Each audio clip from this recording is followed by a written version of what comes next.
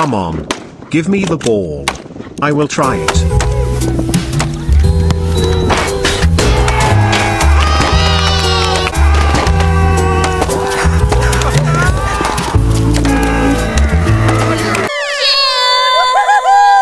Full-time freedom for all you kids out there. You kids are finally out of the school! You can do whatever you want. The teachers are in the past! That's right.